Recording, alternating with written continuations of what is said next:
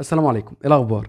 في بعض الأوقات بتكون في أشياء غير مرغوب فيها بداخل الفيديو بنكون محتاجين إن إحنا نعمل لها إزالة بدل ما نتعب ونصور من جديد أو ممكن يكون في علامة مائية غير مرغوب فيها أو كتابة على الفيديو أو أي حاجة من دي ممكن نعملها عن طريق البرنامج اللي هنشرحه النهارده وكمان تقدر تشيل الخلفية بتاعة الفيديو حتى لو ما وراكش كرومة خضراء كل الحاجات دي إن شاء الله هنعملها عن طريق برنامج هيدبو فيديو اوبجيكتيف ريموفر البرنامج طبعا مدفوع ولكن بيديك تجربة مجانية. يعني أنا بقول لكم في الأول أهو عشان الناس بتزعل لما أقول في الآخر إن البرنامج مدفوع. لا هو مدفوع بس بيديك تجربة مجانية. تمام؟ أنا سيب لكم رابط تحميل البرنامج في الوصف. جربوا مش هتخسر أي حاجة. هتضغط على try it free علشان تبدأ تنزل النسخة اللي إحنا هنشتغل عليها دلوقتي. يعني مثلا ده فيديو أهوت ممكن تشيل العلامة ديت أو ممكن تشيل الحاجة ديت أهو.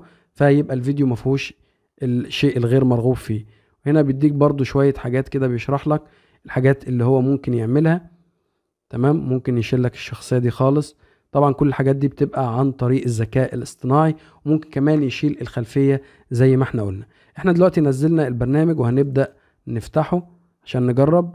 دي كده الواجهة الرئيسية الخاصة بالبرنامج بسيطة زي ما انت شايف. بيبقى فيه اختيارين. الاختيار الأول إن أنت لو عايز تزيل عنصر من الصورة والاختيار التاني لو أنت عايز تشيل الخلفية بتاعتك. تعالى كده نجرب إن إحنا نشيل الخلفية بتاعة الفيديو. على سبيل المثال إحنا عايزين نشيل خلفية الفيديو ده. شايف الفيديو؟ يعني الفيديو دوت أدي كده الخلفية بتاعته أهي. يعني حتى هو لابس ألوان شبه الألوان اللي موجودة في الأرض وفي الخلفية. فالموضوع بيبقى صعب شوية. فبنضغط على preview علشان نبدأ نشوف النتيجة. شايف النتيجة؟ طبعا نتيجة ممتازة جدا. لو أنت عايز بقى تشيل الخلفية ديت وتحط green screen برضو نفس القصة بيجيب لك أهو. وأنت بقى من خلال المونتاج تقدر تغير ال green screen دي. أنا طبعا كنت عملت الموضوع دوت من شوية علشان يعني ما أخدش وقت حضراتكم في الفيديو. فمثلا ده كده النتيجة بتاعة ال green screen أهي زي ما أنت شايف. تمام؟ تقدر بقى تشيل ال green screen دي وتحط أي خلفية أنت عايزها. جربت برضو في إن أنا أشيل خلفية لفيديو من الفيديوهات بتاعتي. يعني مثلا خلينا كده نحط فيديو الفيديو ده مثلا نفس القصة بنضغط على preview شايف النتيجة؟ نتيجة ممتازة جدا أهي. كده أنت أزلت الخلفية بتاعة الفيديو. نفس القصة بتاعة ال green screen. هنعمل preview أهي. أنت كده شلت الخلفية بتاعتك بدون chroma وعملت لنفسك chroma خضراء تقدر بقى بأي برنامج مونتاج تغير ال chroma الخضراء دي وتحط بقى استوديو تاني وراك تحط أي حاجة وراك. تضغط على export بيبدأ ينزل معاك الفيديو زي ما أنت عايز. طيب ده بالنسبة للريموف باك جراوند عن طريق الذكاء الاصطناعي طبعا ال AI طب تعال نشوف إن أنت تشيل حاجة بقى من الفيديو. خلينا مثلا نجرب الفيديو ده. أنا مثلا عايز أشيل حاجة غير مرغوب فيها بداخل الفيديو.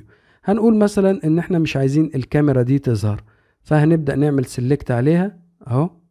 بمجرد ما عملت select هو هيبدأ يعمل لي معالجة. طبعا أنا ممكن أضغط هنا كده. لو عايز مثلا يعني أوسع الدايرة شوية بتاعة ال selection عايز أشيل حاجة فببدأ يعني أتعامل من هنا. وبعد كده بضغط على finish هو بقى بيبدأ يعمل preview الأول أو بيبدأ يعمل معالجة الأول. وبعد كده بيعمل preview يشوفك انت راضي عن النتيجة ولا لا وبعد كده بتضغط على export أنا بعد ما عملت الخطوات ديت دي كده كانت النتيجة أهي. دولار مدى الحياة شال الكاميرا أهي زي ما أنت شايف. بيبقى فيه صورة اهتزاز خفيف ولكن برضه ماشي الحال. النتيجة كويسة ومرضية. ده كده بالنسبة للفيديو ده. ممكن كمان استخدمه إن أنا أشيل لوجو يعني لو أنا عندي لوجو الفيديو ده مثلا فيه لوجو أنا لو عايز أشيل اللوجو ده نفس الفكرة. بعمل select عليها. الفرشة اهيت لو أنا عايز مثلا أزود حاجة أو كده. تمام كده اكتملت عملية المعالجة. ممكن بقى تضغط على preview علشان تبدأ تشوف النتيجة عاملة إزاي. طبعا ده كده الفيديو. لو ضغطت على ريموف بيجي لك أهو تم إزالة اللوجو يعني بشكل احترافي جدا. أهو لو ضغطت على ريموف بيبقى ده الشكل الأخير. ممكن تضغط على export علشان يبدأ ينزل معاك. أهو. كده نزل الفيديو. هنبدأ نضغط على open the file شغل بقى الفيديو. ده كده اللوجو أهو مش موجود واختفى نهائي. طبعا كل ما كانت الخلفية آه سادة كل ما كان الإزالة أفضل بكتير. أخيرا بقى عايزين نجرب نزيل عنصر متحرك. فهنختار AI Objective Removal وهنبدأ نختار الفيديو ده. ده فيديو لكرة قدم وعايزين مثلا نشيل أي لاعب من اللعيبة اللي موجودة هنا. فهنبدأ بقى نعمل select على العنصر اللي إحنا عايزينه يختفي. عايزين مثلا نشيل اللعيب ده فهنبدأ نعمل select عليه كده. وبنضغط برضو هنا. يعني نحاول على قد ما نقدر إن إحنا نعمل select على اللعيب بشكل كامل وبعد كده بنعمل finish نسيبه بقى يعمل preview ونشوف النتيجة هتبقى عاملة إزاي. كده تمام انتهت عملية المعالجة. ممكن بقى تضغط على preview قبل ما تعمل export علشان تبدأ تشوف النتيجة. هنضغط على ريموف هنا شال العنصر أهو زي ما أنت شايف. آه أصبح مش موجود. يعني حاجة خفيفة جدا أصبحت هي اللي موجودة.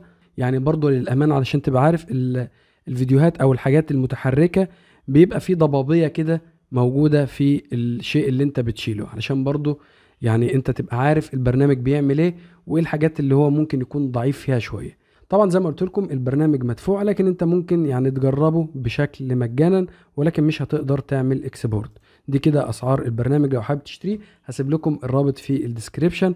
وشركة HitPaw عندها منتجات رقمية كتيرة جدا كنا اتكلمنا عليها كلها بتعتمد على ال AI ممكن برضو تجربها أسيب لكم بعض الفيديوهات في الوصف. بتمنى إن يكون الفيديو مفيد بالنسبة لكم.